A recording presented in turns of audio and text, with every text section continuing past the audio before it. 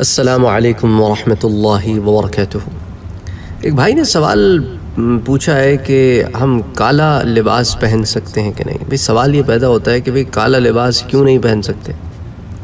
मुझे बताओ कि काला लिबास क्यों नहीं पहन सकते? क्या आपने किसी कुरान में, की आयत में, या किसी हदीस में काला लिबास पहनने की ममानियात देखी है?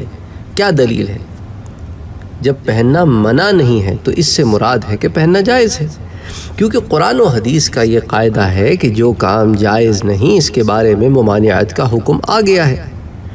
तो जब एक चीज़ की ममानियात का हुक्म नहीं आया, इसका मतलब उसका पहनना जायज़ है। अच्छा दूसरी बात, ये जहन में रखें काला कपड़े के ऊपर ये मसला क्या चला है कि ये सुन्नी हजरात जो है, ये अहल तशैय को देखते हैं कि वो काले कपड़े पहनते हैं। तो वो समझते हैं कि काला कपड़ा अब हम पहनेंगे, नहीं पहन सकते देखो, वो बिरयानी खाते हैं तो तुम बिरयानी खाना बंद कर देते हो। तुम तो बिरयानी और शौक़ से खाते हो, वो हलीम पकाते हैं, तुम हलीम में खाना बंद कर देते हो। नहीं। देखो, काले कपड़े, काले रंग के कपड़े पहनना जायज़ है, बशर्ते के किसी ख़ास रस्म या अकीदे या शोक की बुनियाद पर ना हो। अल्लामा शामी ने तो काले रंग का लिबास पहनने को मुस्तहब करार दिया है। क्योंकि हुजूर सल्लल्लाहु अलैहि वसल्लम से सियाह रंग का लिबास पहनना साबित है। चुनाचे एक रिवायत में है कि फ़तेह मक्का वाले दिन जब हुजूर अकरम सल्लल्लाहु अलैहि वसल्लम मक्के में दाखिल हुए तो आपके सर पर काला इमामा था। ये तिरमिज़ी शरीफ की रिवायत है। अच्छा दूसरी रिवायत जो है, वो मुस्लिम शरीफ की रिवायत है। आपको मैं अहल बैत के ज़िमन में भी वो हदीस बता चुका हूँ। हज़रत आयशा सिद्दीक़ा रदी अल्लाह तहा रिवायत करती हैं कि हुजूर अकरम सल्लल्लाहु अलैहि वसल्लम सुबह के वक्त एक ऊनी नक्श चादर ओढ़े हुए बाहर तशरीफ़ लाए।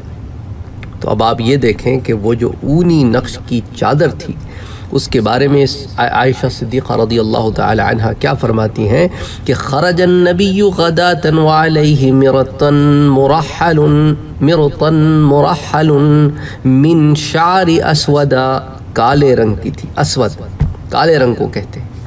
तो काले रंग की चादर तो हुजूर अकरम सल्लल्लाहु अलैहि वसल्लम ने पहनी। और ये रिवायत जो है ना मेरा भाई, ये मुस्लिम शरीफ की रिवायत है, किताब फ़दाइलसहाबा बा फ़दाइल अहल बैतनबी उसमें फिर हदीस आती है टू फोर टू फोर। फिर इसे इमाम हाकिम ने अलमुस्तरक में रिवायत किया है और इमाम हाकिम कहते हैं कि हादा हदीस फिर इमाम बेहकी सुनकुबरा में लाते हैं और इबन अबी शैबा अलमुसन्फ़ इबन अबी शैदा, शैबा पर लाते हैं। तो काले, काली चादर का ज़िक्र। इसमें कि सियाह चादर हुजूर सल्लल्लाहु अलैहि वसल्लम ने ज़ेब तन फरमाई।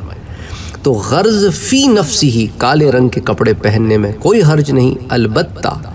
आज के दौर में मुकम्मल काला लिबास बाज़ अहल बातिल का शार बन चुका है। तो अब इसके अंदर अब आप बाज़ मामला में एहतियात बरतेंगे।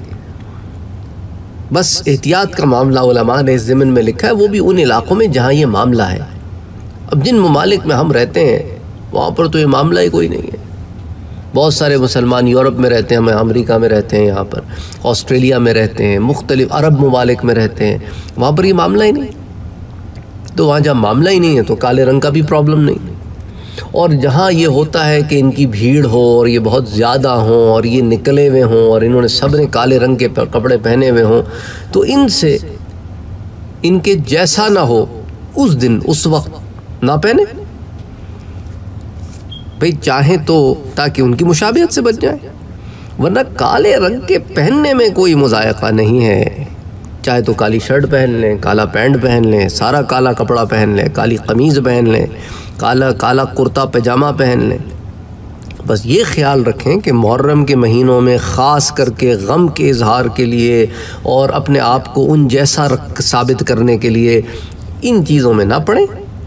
वैसे काले रंग के कपड़े पहनने की ममानियत आपको नहीं मिलेगी। और हदीसें भी मैंने आपके सामने रख दी हैं। और इसके अलावा अजीं जो है, अगर आप फ़िक की किताबों में भी उठा के देखें, मैंने आपको अल्लामा शामी का भी हवाला दे दिया। फिर इसके अलावा भी और भी हवाले हैं, अगर आप उठा के देखें तो उसके अंदर आपको रद्दुलमुख्तार में भी मिल जाएँगे, दुर्र मुख्तार में भी मिल जाएँगे। बहरहाल मैंने आपके सामने ये राय रखनी थी। कि लिबास किसी भी रंग का हो, अगर वो शर्य तकाजे पूरे करता है तो पहना जा सकता है। इसमें रंग की कोई कैद नहीं, शरान कोई लिबास उसी वक्त ममनू होगा जब वो शर्य तकाजे पूरे ना कर रहा हो। इसी तरह सिया लिबास अगर कोई शख्स पहनना चाहता है तो वो जब चाहे पहन सकता है। शरान कोई ममानियत नहीं असल वरहमल वर्क